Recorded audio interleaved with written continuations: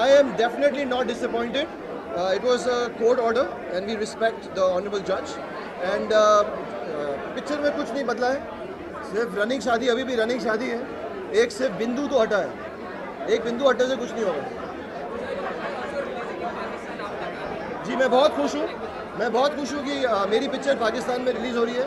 In fact मैंने पिछले साल एक ऐड भी किया था पाकिस्तान की uh, ऑडियंस के लिए। सो so, मैं बहुत खुश हूँ।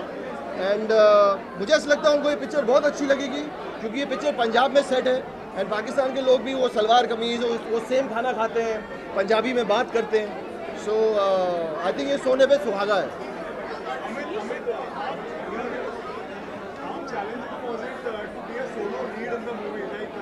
यार मैं सोलो लीड नहीं हूँ इस पिक्चर का। एक इंसान से कोई भी पिक्चर नहीं बनती है। मैं एक पिक्चर का कैरेक्टर हूँ वो ये है।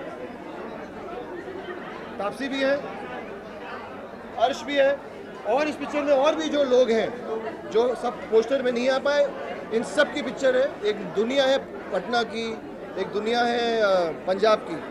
सो so, मैं ये सोलो लीड नहीं समझता क्योंकि अगर सोलो सोलो मोनोलॉग होता है बट मूवीज़ मोनोलॉग में नहीं बनती। है सो so, मैं ये सब की पिक्चर है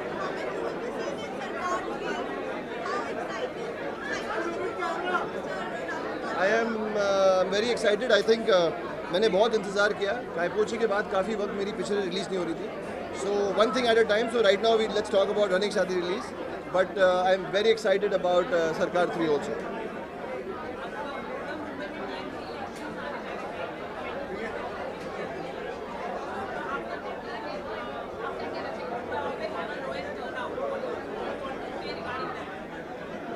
मेरी मेरी पिक्चर के स्क्रीनिंग पे वो ऐसे पॉलिटिकल सवाल पूछ रहा है।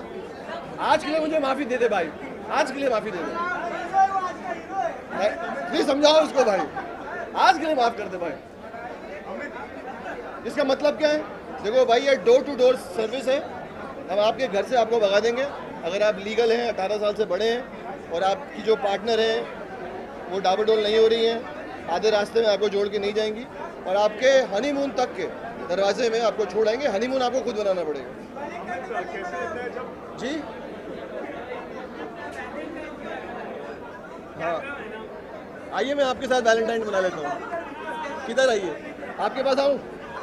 वैलेंटाइन डे बनाने